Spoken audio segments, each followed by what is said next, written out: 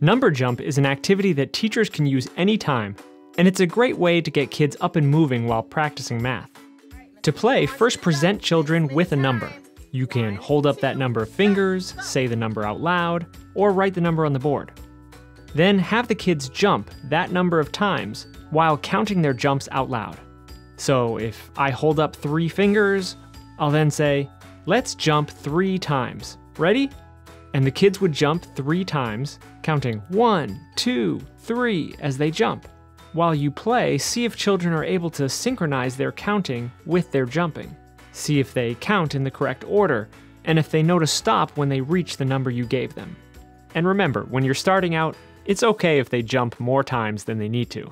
In this game, children are recognizing the quantity of fingers you show them, they're recognizing the numeral you might have written on the board, and they're practicing counting order as they count their jumps.